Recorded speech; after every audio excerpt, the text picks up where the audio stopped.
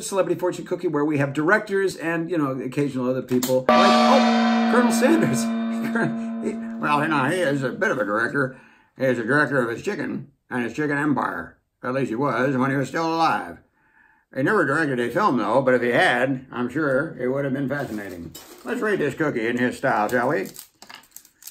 Uh, and it says, Simplicity is the ultimate sophistication.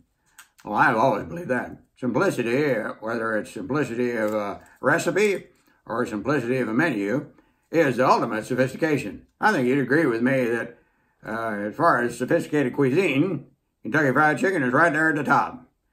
I can't see anything above it. there you go. Hey, uh, simplicity is actually undervalued.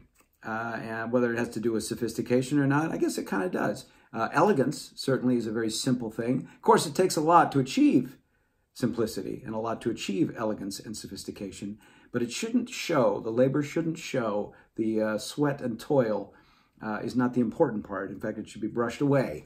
And uh, a, a simple sort of message should be left. This has gotten very esoteric. The main thing is, pardon me, the main thing is, uh, you should try and do your best. Well, there you go. I mean, that's it all translates down to that. Thanks for watching. I'll see you again tomorrow on Celebrity Fortune Cookie. Thanks for subscribing.